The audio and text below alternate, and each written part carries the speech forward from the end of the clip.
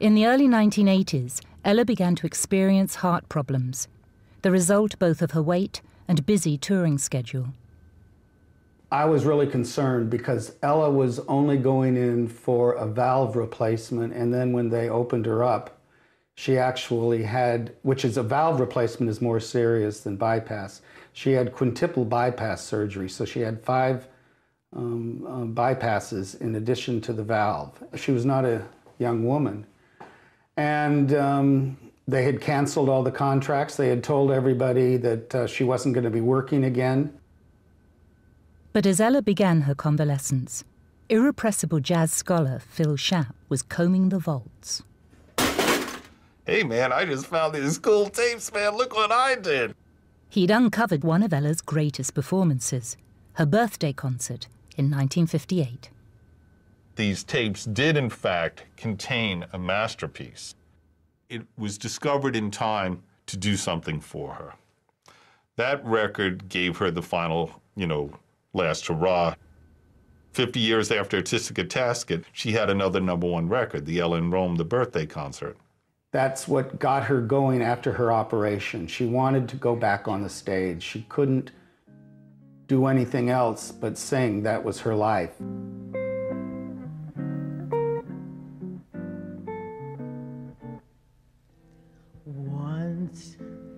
While, will you try to give one little thought to me? Though someone else may be nearer your heart.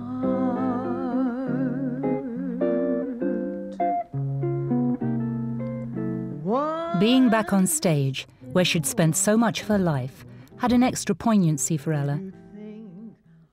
For a number of years, she'd been discreetly using her royalties to fund projects for underprivileged children. Moments before we two drifted apart. She found a way of addressing something that she shut away. A kind of healing, perhaps, to be able to go back to that life she had as a child and to put some of the things right that weren't done right for her. I know that I'll be contented with yesterday's memories,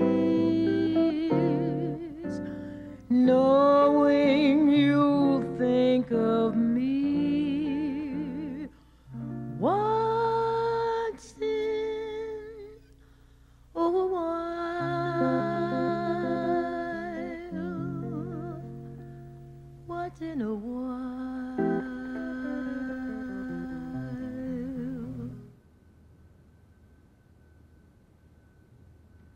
Ella had been diagnosed with diabetes. In the early 1990s, complications resulted in her eventually having both legs amputated below the knee. I figured, well, I wonder why she's in a wheelchair. I went down to kiss her, and I noticed she uh, didn't have one leg, and I thought, well, maybe she's sitting on it. She said, look at what they've done. They've taken my leg from me. And, you know, I had, I had to say, you know, Ella, you know, I'm so sorry. And She said, but there's nothing wrong with my throat.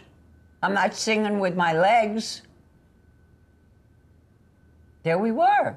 She had no, she was ready to go on. Don't you see? That was her life.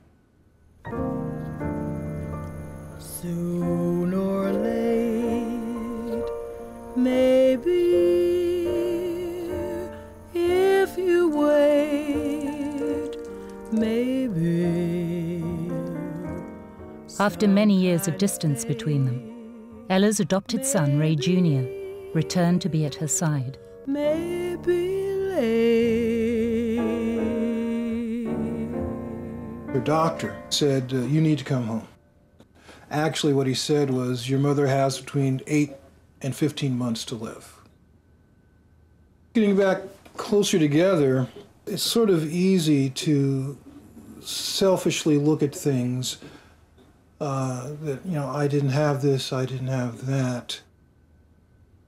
The main thought that I had was uh, I wanted her to be at home